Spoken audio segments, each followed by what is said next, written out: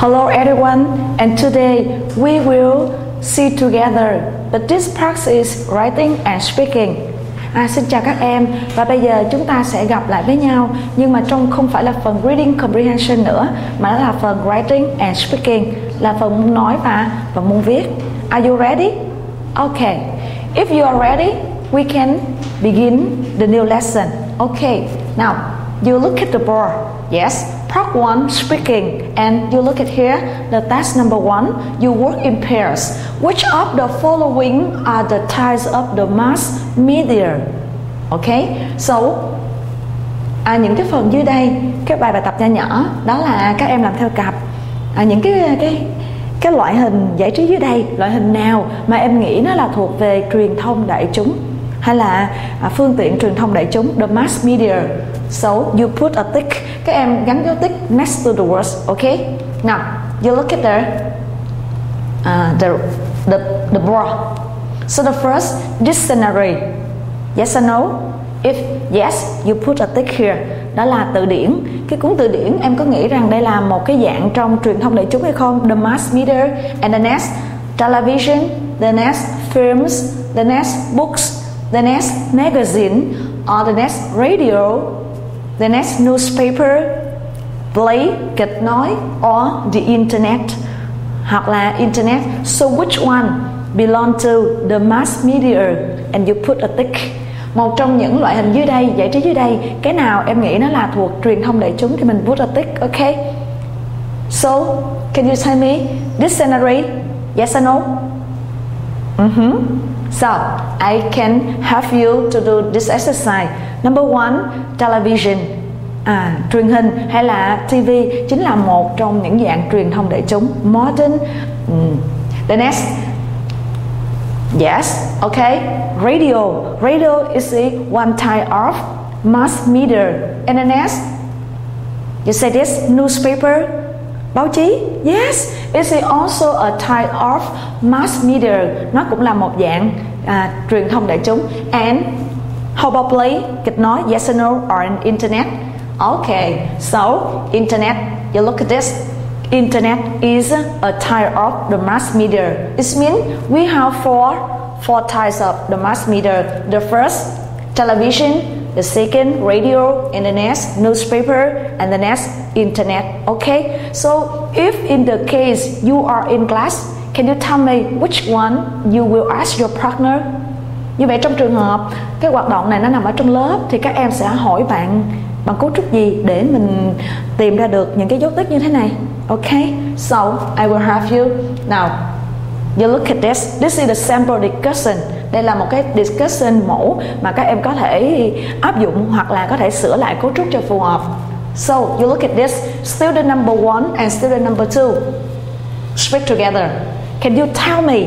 Can you tell me which of the following are the types of the mass media nè có thể nói cho tôi biết những cái dạng giải trí dưới đây cái nào là thuộc về dạng truyền thông đại chúng hay không?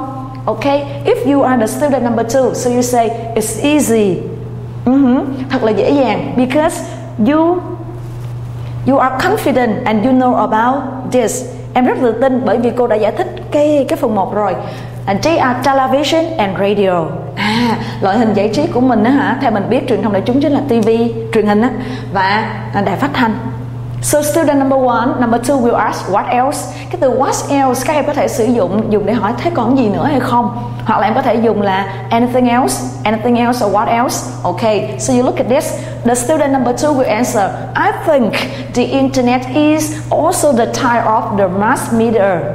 Và tôi nghĩ uh, internet cũng là một dạng trong truyền thông đại chúng nhưng mà mình không có chắc lắm do đó mình phải hỏi là cấu trúc là right right it mean đúng không okay so you look at this the student number one will say that's it. That's it it's mean đúng rồi. Okay and the last one is newspaper. Và mình muốn góp ý thêm phần cuối cùng cái dạng cuối cùng trong truyền thông đại chúng đó chính là newspaper báo chí. Okay do you agree with me? Nhưng mà mình phải hỏi ngược lại để cho nó có sự tương tác giữa um, hai bạn với nhau chứ không phải là một cái cuộc phỏng vấn phải hỏi hỏi không mà nói nói không. Mình phải có sự tương tác. Do you agree with me?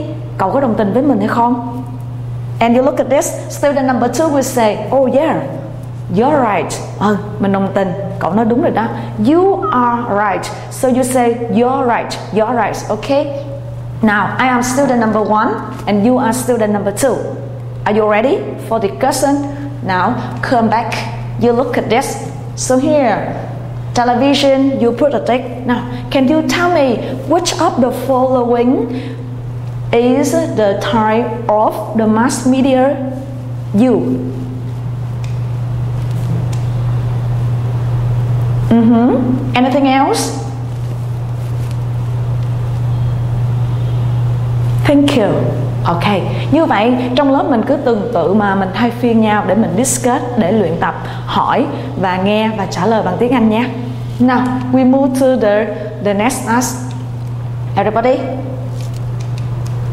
Task number Task number two. It means you work in pairs.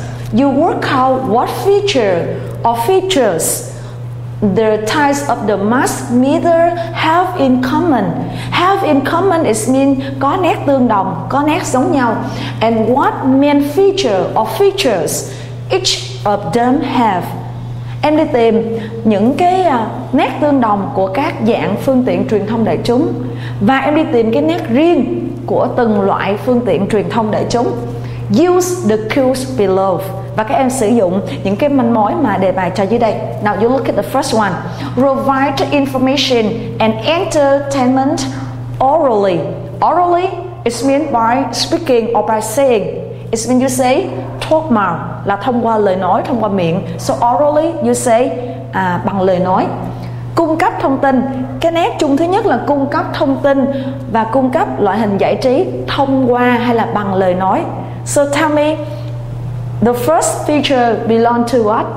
Cái đặc tính thứ nhất này em nghĩ coi nó thuộc vào cái dạng truyền thông đại chúng nào? Television, radio, internet or newspaper?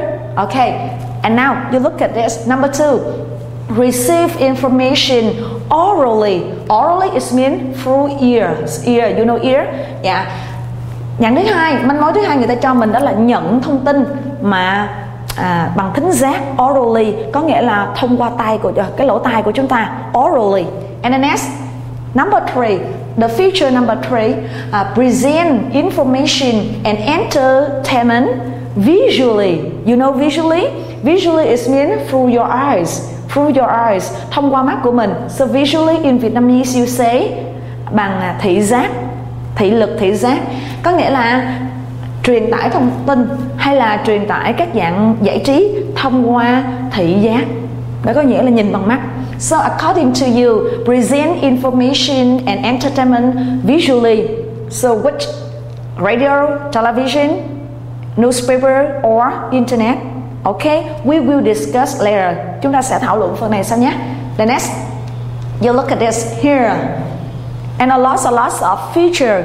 Now, feature number four receive information visually through eyes again là nhận thông tin bằng thị lực the next present information and entertainment orally it mean um, trình bày thông tin hoặc là trình bày các loại giải hình giải trí loại hình giải trí thông qua orally it means um, bằng lời nói through mouth thông qua miệng. And visually vừa thông qua miệng vừa thông qua visually it means you say through your eyes là thông qua thị lực. So tell me which type of the mass media has this feature? Cái dạng truyền thông đại chúng nào có những cái đặc tính như thế này? Vừa thông qua thị lực.